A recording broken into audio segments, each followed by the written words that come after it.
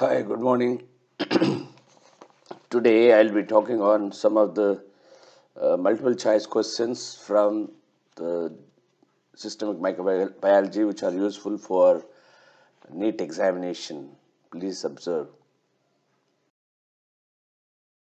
A four year old player is suffering with pain in his right leg and right upper thigh. The temperature is 2 not sorry 1 or 2 degrees Fahrenheit. X-ray of the femur shows eroded the periosteum suggestive of osteomyelitis. Blood culture yields gram positive cocci. The most likely etiological agent is. Even the answer has been given already that is C. Staphylococcus aureus. but here we have to sort out why not other three are the answers. The first one is if you see this uh, staphylococcus, the staphylococcus, uh, uh, there are three important species are there. One is uh, uh, coagulase, uh, coagulase, uh, uh, what do we call it? Coagulase positive staphylococci, and others are coagulase negative staphylococci. So in this coagulase negative staphylococci, we have two. One is saprophyticus, and number two is epidermidis. Epidermidis. These are the another species of staphylococci so this is normal flora of the human skin and respiratory tract and also GIT tract.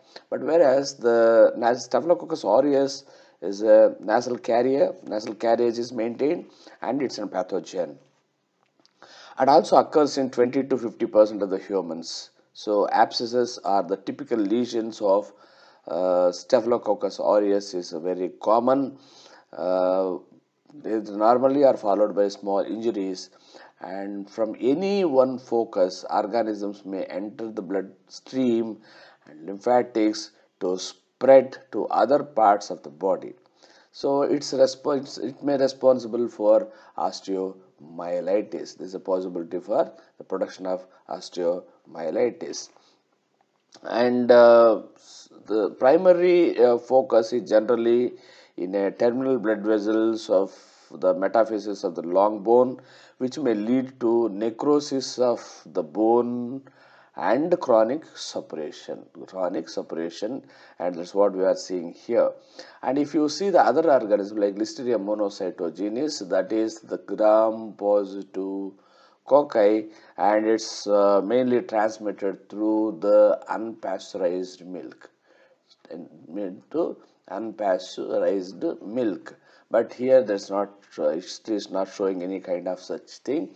And another one is streptococcus pneumonia which is primarily it's a primarily respiratory pathogen. It's primarily a respiratory pathogen and uh, Mm, uh, it's an important uh, uh, causes for the important central nervous system uh, CNS related uh, disease among the children among the children. So in this case this is a kind of uh, um, damage wound damage to, secondary to the damage to the skin. So this here the answer would be the Staphylococcus aureus which is known pathogen and the pathogen of relevance. Which of the following is not correct about the staphylococcal food poisoning?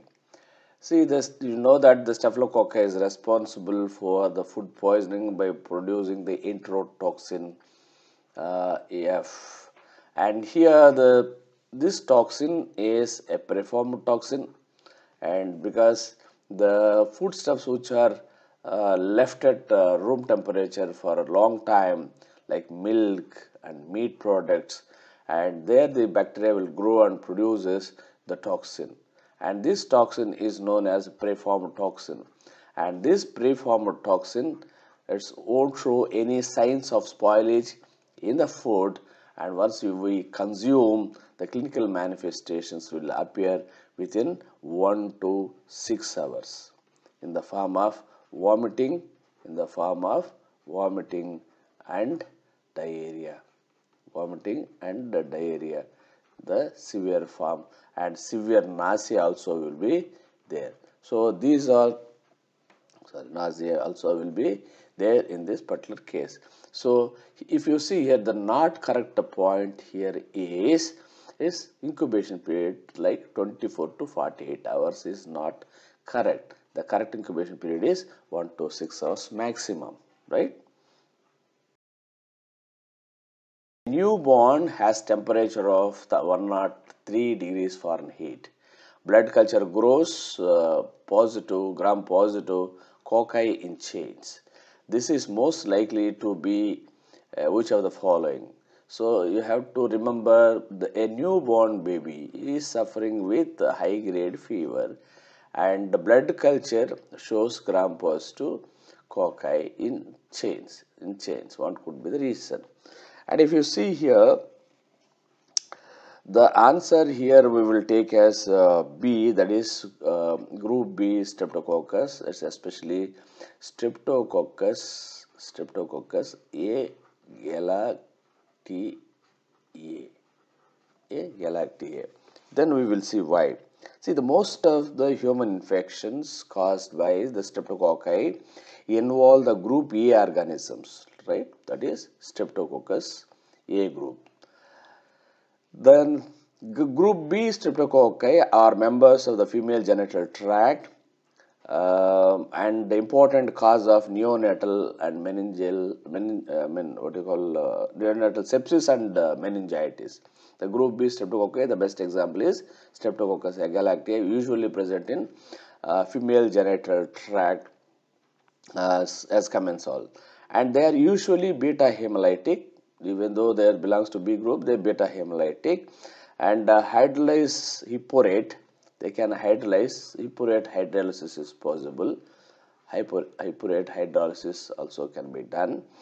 And the positive response to the CAMP test. CAMP test is one more test is there, that's CAMP Christie, Atkins, Munch and Petersen uh, test is there, there is CAMP test, that CAMP test will become positive for these organisms and detection of infection and prompt antimicrobial treatment necessary because the infections may become life threatening and that's about uh, the group A and group B streptococcus. Uh, third option is salmonella. This salmonella is a gram negative bacilli. It's mainly causes for the enteric fevers and some of the salmonella species causes for uh, gastroenteritis or intestinal disease. So it's not related to this one. And last one is the streptococcus pneumoniae. These streptococcus pneumoniae organisms are important in meningitis cases in children young children especially but are more frequently seen in diplococci forms rather than the long chains. They are seen like diplococci like this but uh, like two two like this but not in the chains the big chains. Okay. So that's the reason why the answer would be the um, b that is group b streptococci then the fourth one is uh, a three year old is diagnosed with bacterial uh, meningitis cerebrospinal fluid grows out gram positive cocci in short chains and pairs.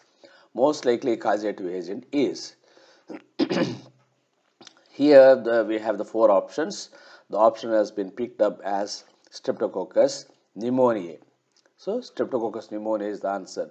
So the three years age group you have to remember will diagnose the bacterial meningitis this is a disease. So the finding is gram positive cocci in short chains and also the pairs. So, what it could be? it's always based on the morphology. First, I would like to go to the Streptococcus pneumoniae. Streptococcus pneumoniae is the right answer. And again, we will go for discussion. Uh, Streptococcus pneumoniae is responsible for uh, 10 to 20 percent of the meningitis cases in children. In children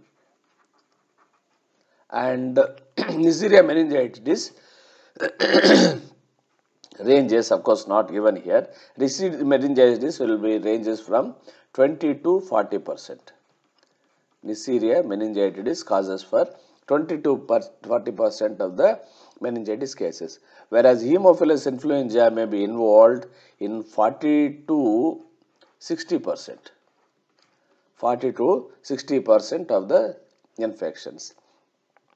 And group A, uh, B, so group A and B streptococci. Group A and means uh, Streptococcus pyogenes and group B means Streptococcus agalactiae, both also associated with uh, 2 to 4 percent of meningococcal, men, sorry, uh, uh, um, meningitis cases.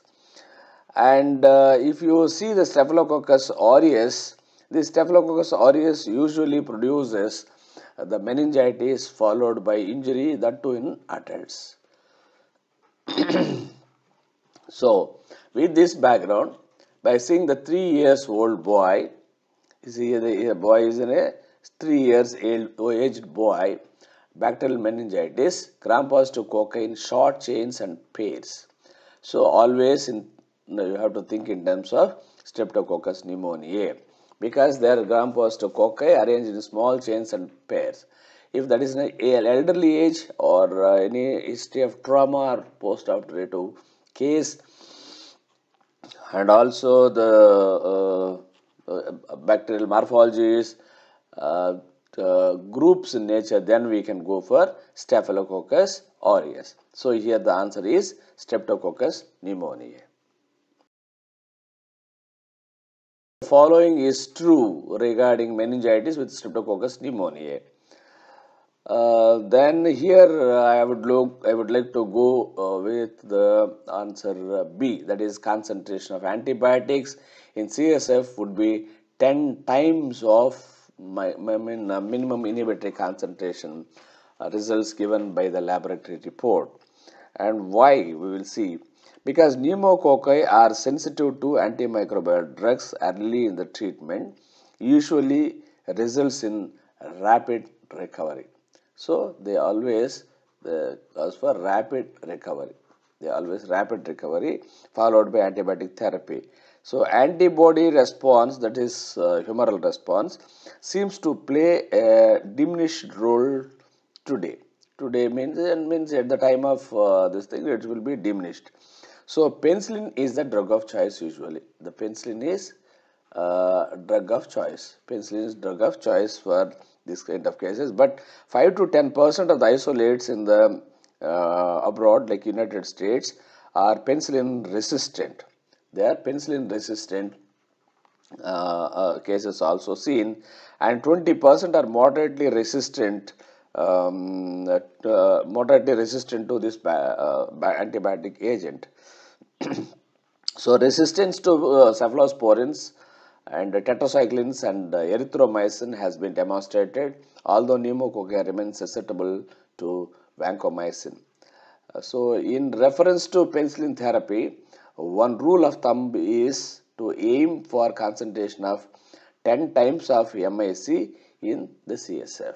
10 times of MIC in the CSF. So, if you get the say, report something 4 or 8 something like that and you have to give 10 times to that particular uh, drug dose. So, concentration of antibiotic should be maintained uh, uh, maintained in this much in the CSF because of the resistant to even cephalosporins, tetracyclines and erythromycins, right? And uh, cephalosporins always um, effective and always is not effective but sometimes they are also resistant and penicillin is always effective but sometimes nearly uh, uh, uh, nearly 10 to 15 percent of these cases are resistant to penicillin so not always and resistance is not increasing uh, in uh, streptococcus pneumonia. This is also a wrong answer. The resistance for the antibiotic agents are being increased among the streptococcus pneumoniae also.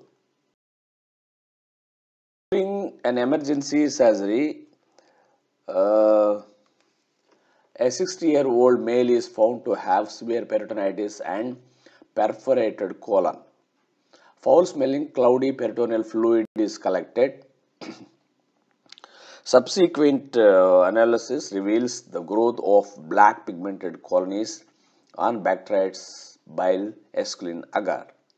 No growth is detected in the presence of kanamycin uh, or vancomycin. Which of the following microorganism is most likely involved in this case?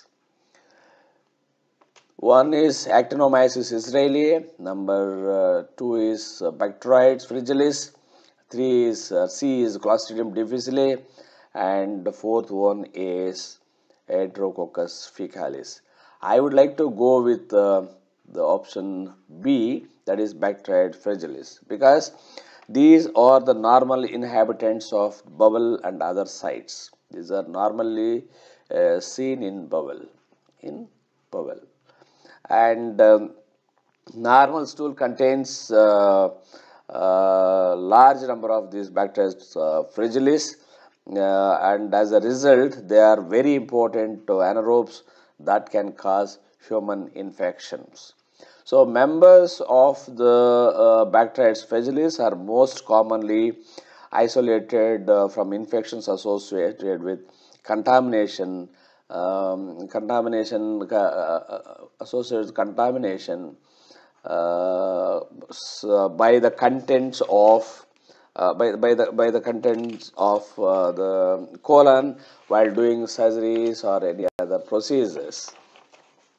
Where they may cause uh, suppuration for example peritonitis after the bowel injury. So here in case of uh, uh, bowel injury you can see here the colon fluid is in colon perforated uh, colon. This perforated colon may result in the in the form of peritonitis. Peritoneal fluid is collected no? This is nothing but a perforatis.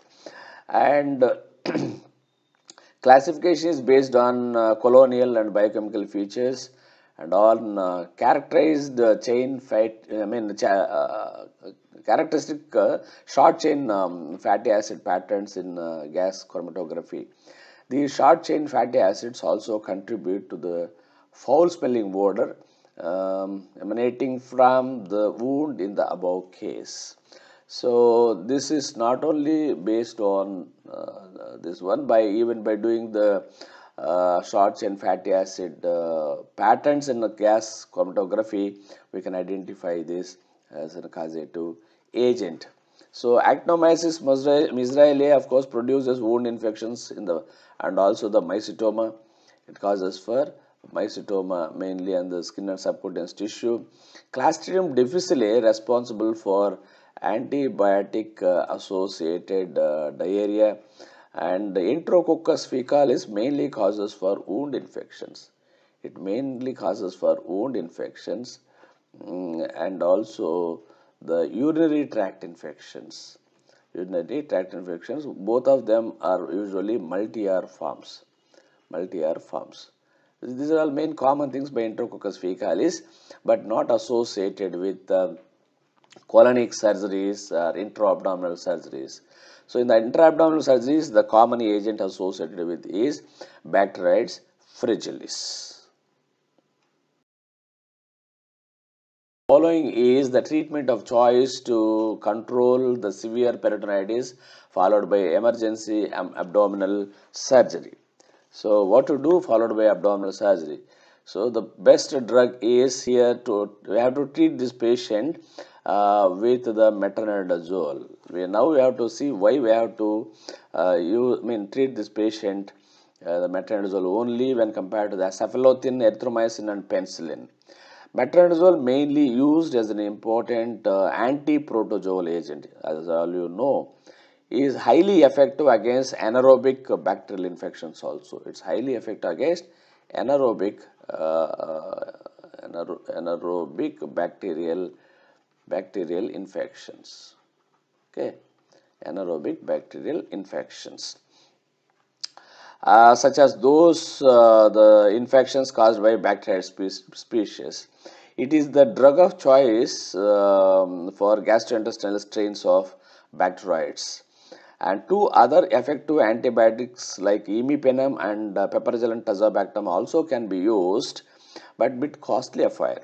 And bacteroid species such as Bacteroides fragilis commonly possesses beta lactamase enzyme produces beta lactamase beta lactamase enzyme which is mainly responsible for um, uh, resistance to produce against penicillin and cephalosporins are uh, here the cephalosporin the cephalothin has been given.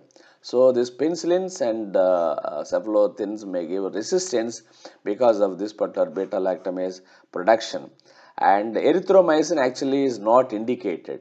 Erythromycin is not indicated in the, treatment of bacteria species because the based on this um, uh, uh, route of uh, the site of action uh, the erythromycin mainly get concentrated in the respiratory secretions when compared to the peritoneal secretions. So the people would prefer to give erythromycin for the uh, intra-abdominal uh, infections. Female with a 3 day fever presents with headache bp 90 by 60 millimeters of hg heart rate 114 uh, per minute and pinpoint spots developed distal to bp cuff. Most likely organism is as i would like to go further there are four are there. One is brucella abortus and uh, brucella suis brucella neisseria meningitidis and Staphylococcus aureus. See the baby is suffering with headache and uh, low blood pressure, heart rate is high and pinpoint spots distal to the BP cuff. See here, if you see in case of uh, Brucella abortus, Brucella abortus and Brucella suis are they are not primarily the human diseases. They are not the uh, human diseases. And uh, of course they may cause for uh, the undulant fever. Undulant fever. Undulant fever but produced by brucella melitensis. Melitensis. So we'll explore that. And neisseria meningitis causes for meningitis. it causes for meningitis especially acute pyogenic meningitis is produced so while diagnosing this acute pyogenic meningitis case, what we do is we do the tourniquet test. Tourniquet test. And if you apply this tourniquet and uh, distal to the BP cuff, so if you uh, tie the cup, uh, this biceps area, then distal to that you can see a kind of spots petechial spots you can see like this. A petechial spots are seen. These parts are like uh, pinpoint petechial spot because of um, uh, because of the uh, fragility of the blood vessels and all. You can see the, the this kind of uh, pinpoint spots. This is a typical presentation of um, meningitis produced by Neisseria meningitidis. So this is a nothing but a tourniquet test this tourniquet test which can be done for uh, the diagnosis of acute pyogenic bacterial meningitis produced by Neisseria meningitidis. And Staphylococcus aureus also is not related to that particular uh, thing. Usually the Staphylococcus aureus may cause for uh, chronic uh, brain abscesses and it won't uh, show this kind of uh, Uh, uh, this kind of uh, features with meningitis old child suffering with signs of meningitis with fever and petechial rash. CSF examination is suggestive of bacterial meningitis. Petechial rash, CSF examination suggestive of bacterial meningitis. And uh, signs of meningitis is also present. What could be the most probable organism causing this meningitis? See, the age is 10 years. The age is um, 10 years. And uh, the petechial rash is present. Fever with petechial rash. And uh, we have to see this. Uh, have to go is the commonest organism in this area uh, meningitidis but you may ask why the why not the streptococcus pneumoniae? Streptococcus pneumoniae produces um, uh, the meningitis uh, of course but it's not that much common in this particular age group. And the petechial rash is the typical appearance of the typical presentation of the Neisseria meningococcal meningitis. Uh, and also uh, streptococcus staphylococcus aureus is also not related to that and Haemophilus influenza also not related to that based on the age. So, in this particular age the commonest um, uh, meningitis, pyogenic meningitis uh, cause seen among the um, yeah, children age group uh, by is by the Neisseria meningitis that too associated with the petechial rash. No other are associated with petechial rash. But there are some other um, uh, meningitis cases also there are fevers also there associated with uh, petechial rash like rickettsial fevers but um, there won't be any signs of meningitis. So, the signs of meningitis with fever, petechial rash, first we have to think in terms of Neisseria meningitis. Which of the following is the current preferred antimicrobial treatment for cutaneous anthrax B? You all know that this anthrax is produced by the organism Bacillus anthracis. Bacillus anthracis and which is an important zoonotic disease, right? It's very important zoonotic disease. Now we will see what is the drug of choice for cutaneous anthrax because there are three types of anthrax are there. One is cutaneous anthrax, one is cutaneous anthrax, uh, number two is gastrointestinal anthrax and number three is pulmonary anthrax, pulmonary form. So among all these, this is very very dangerous. This is very dangerous form of um, anthrax. So anyhow, the, what is the drug of choice for now the cutaneous anthrax, which is also known as uh, malignant pustule. This is also known as malignant malignant pustule. Okay, malignant pustule. So one is uh, um, aminoglycoside and uh, number uh, two is ciprofloxacin number uh, C, C is a penicillin and 4 uh, D is tetracycline. So yeah, here I would like to uh, go with uh, the ciprofloxacin and you may ask why uh, the penicillin is not being taken up even though the organism is gram positive bacilli. See the penicillin G first I will start with penicillin. Penicillin G was uh, considered to be the first choice of treatment for the patients with cutaneous anthrax and when used uh, should be continued for uh, 7 to 10 days. It has to be given 7 to 10 days. Uh, so because some naturally occurring isolates have been reported to be penicillin resistant but the, those the but they are sensitive to uh, ciprofloxacin. That means the, the, strains which got resistance to penicillin are showing, showing resistance sensitive to penicillin and some patients are allergic to penicillin also. Ciprofloxacin is now considered to be the drug of uh, choice for cutaneous anthrax.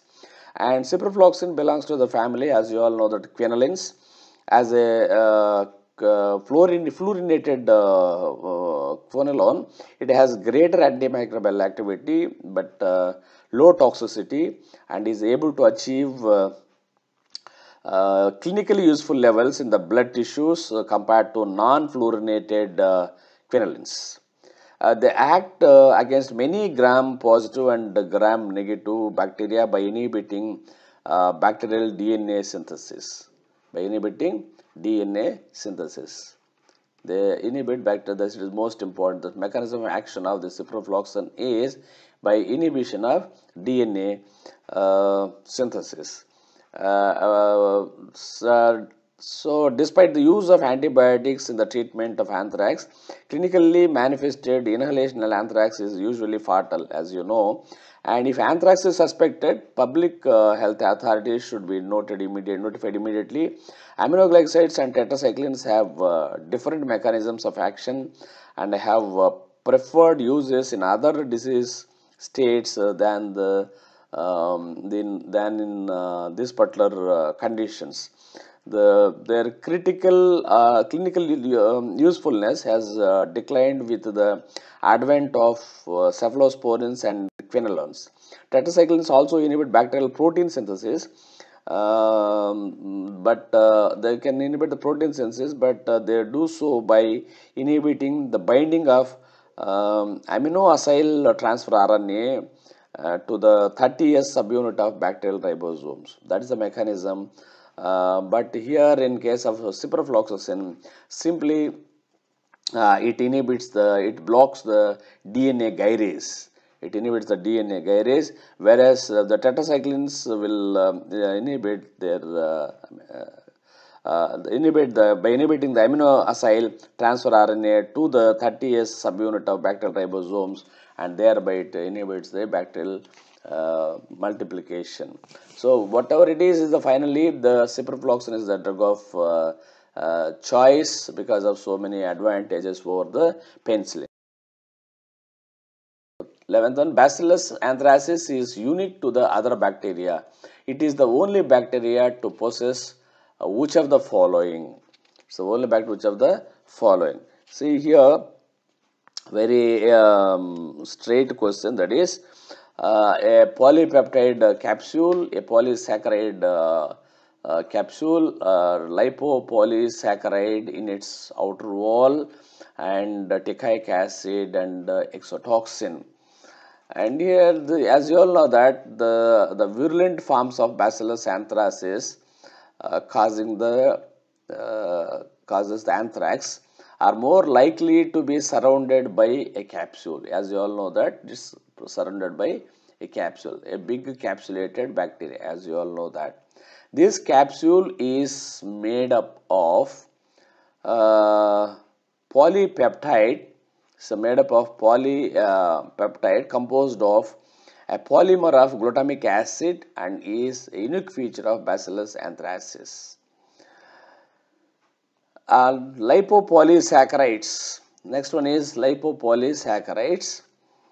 Uh, this is nothing but the lipopolysaccharides are nothing but endotoxins and the gram-negative bacteria are unique to the gram-negative bacteria. Bacillus anthracis is gram-positive bacteria, right?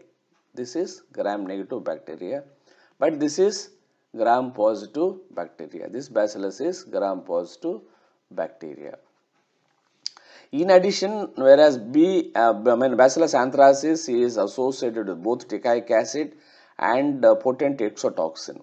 These are not unique features uh, for this bacterium. Other uh, gram positives like staphylococci release exotoxins and have their teichoic acid in their cell walls also. So, here if you see the capsule uh, here uh, the, is mainly prepared of polypeptide uh, substance which is highly virulent capsulated material. So, uh, sorry here the answer is uh, A not the B. So, the polypeptide the bacillus consists of this the unique feature of this particular bacteria where the uh, capsule is prepared with uh, polypeptide. Of course, this polysaccharide capsule seen in case of pneumonia or pneumococci. You can see the this one in pneumococci. Pneumococci you can see this polysaccharide capsule. Of course, this exotoxin and uh, any gram-positive bacteria may have this teichoic acid in their cell wall and uh, they can produce exotoxins, right. So, that is the unique feature. Polypeptide capsule is a unique feature of Bacillus anthracis. Then which of the following is false about TB test turnaround time? Turnaround time means uh, the time taken for uh, getting the results uh, once you hand over the clinical sample to the laboratory that is a turnaround time so in this turnaround time what is the following is the positive for this uh, turnaround uh, time? Uh,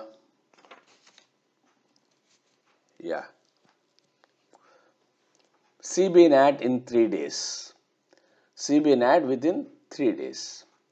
And LJ medium that is Lowenstein-Jensen's medium which is a conventional culture medium for the tuberculosis is 6 to 8 weeks and uh, BACTEC 2 to 3 weeks. And line probe assay that is LPA means line probe assay. So, these are the few methods uh, will be done for diagnosis of tuberculosis. Among three which has got less time to get report. See the LJ medium 6 to 8 weeks is correct because conventional method we have to uh, culture them and if growth occurs within 6 months 6 weeks okay otherwise we have to wait for 8 weeks also. Even BACTEC also 2 to 3 weeks we have to wait and LPA 2 days we have to wait. But in case of CB-NAT, that is cartridge based cartridge based nucleic acid amplification test. So, cassette cassette based nucleic acid amplification test. This will take 1 to 3 hours maximum, not days, through 1 to 3 hours maximum. That is the turnaround time is 1 to 3 hours only, not the 3 days, right. So, that is why this is the false answer given here. So, CBNAT the report report will be given 1 in 3 hours, LJ medium 6 to 8 hours, back BACTEC 2 to 3 hours, LPA 2 hours. So, all these statements are correct now. True about the IGRA, this uh, interferon gamma releasing assay in uh, TB diagnosis. Uh, which one is um, the correct uh, option? We have to see now. Yeah. See, uh, interferon gamma releasing assay, it's mainly produced by the sensitized T lymphocytes. Once the person is infected with the TB, uh, tuberculosis, the, uh, the T lymphocytes will get uh, sensitized uh, by means of uh, um, delayed type of hypersensitivity reaction and these T lymph sensitized T lymphocytes uh, indicative of the level of disease or infection by the tuberculous bacilli.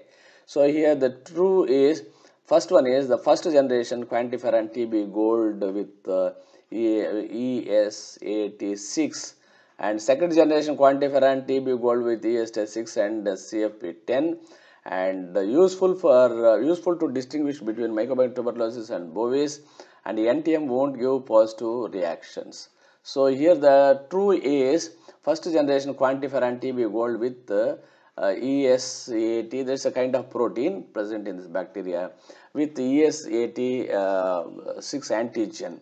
Uh, so, this is the right answer and uh, this can't be differentiated between mycobacterium tuberculosis and bovis and non-tuberculous mycobacteria won't give uh, um, uh, won't give positive reactions. So, this definitely we can uh, rely on this particular um, test, but it can't differentiate whether it is mycobacterium tuberculosis or bovis. But um, in case of uh, interferon gamma releasing assay, uh, how we are doing is first generation quantiferon TB gold we are using by using the uh, we are doing by using the ESAT6 antigen. The next one is the 14th one. Uh, this uh, a 12 years old child presents with the fever and uh, cervical lymphadenopathy.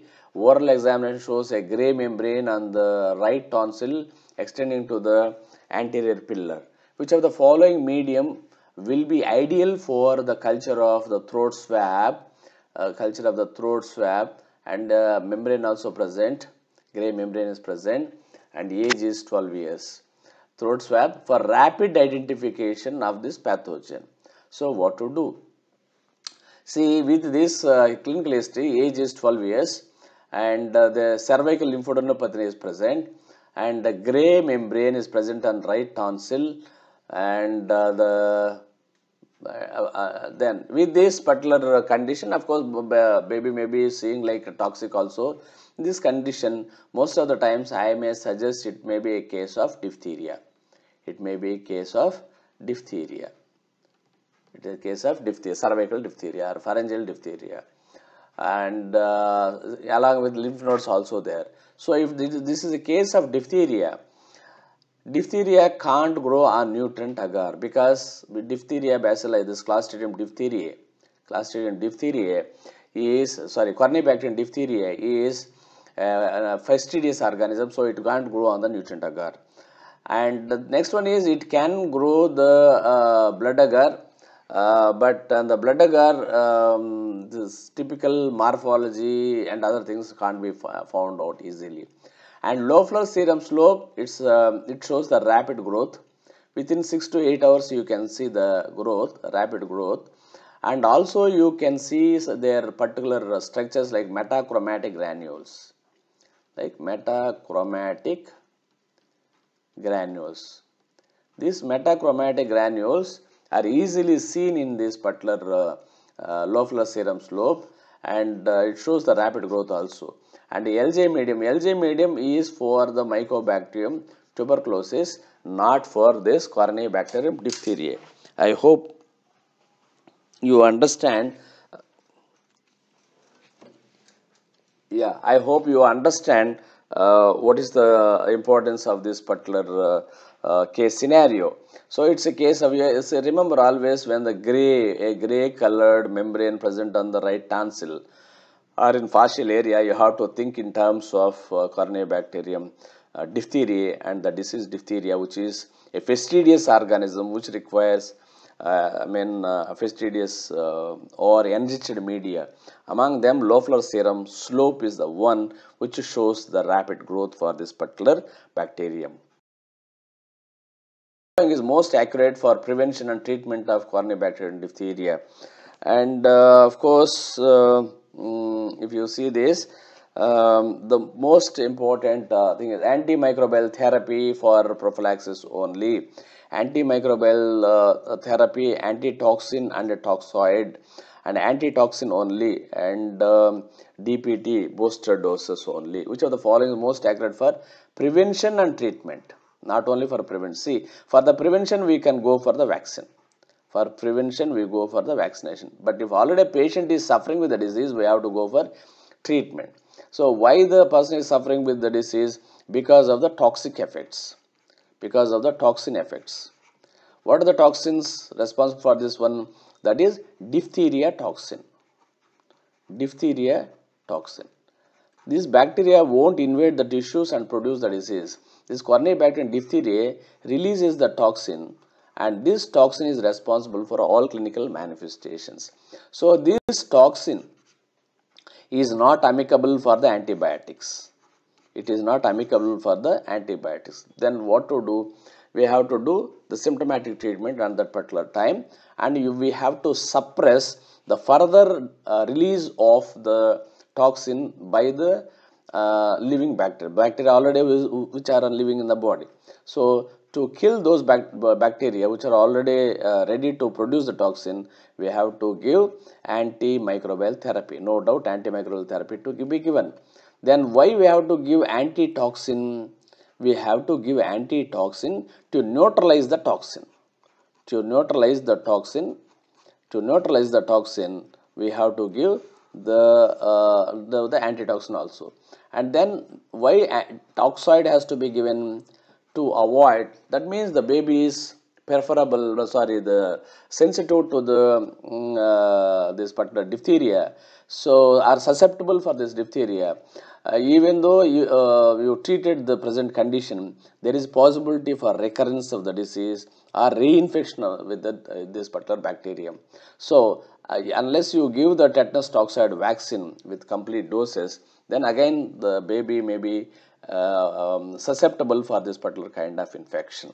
That's why uh, in this particular case, we have to give the antimicrobial therapy and antitoxin for the earliest recovery and uh, the toxoid uh, DPT uh, vaccine to be given to avoid the further attacks. Uh, the few of the uh, MCQs from bacteriology yes, in future also will prepare this kind of things and so that um, it will be helpful for you somehow. Thank you.